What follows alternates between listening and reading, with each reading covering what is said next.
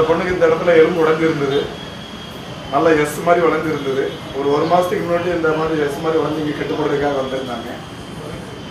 இப்போ ஒரு அஞ்சு கட்டு முடிச்சு ஆறு கட்டு முடிச்சிருக்காங்க. அஞ்சு ஆறு கட்டு முடிச்சிருக்காங்க.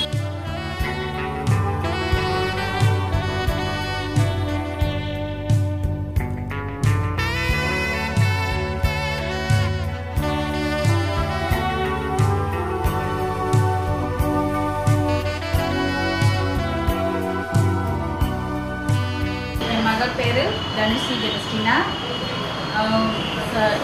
ஏழு வயசு ஆகுது டிஸ்ட்ரிக்ட் தான் போயிருந்தோம். அங்கே கீழே விழுந்து கை உடஞ்சிருச்சு. எஸ் மாதிரி வளைஞ்சிருச்சு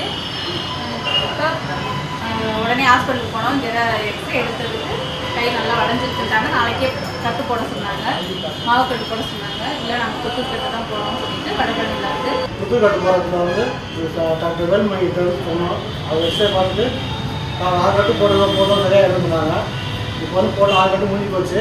லாஸ்ட் கட்டு வந்துக்கிறோம் நல்லா பட்ஜெட்லாம் நல்லா தூக்குறா கை தூக்குறா நேரம் நேரம் ஆயிடுச்சு. இந்த பையன் இந்த சந்தோஷமாக தான் இருக்கும்.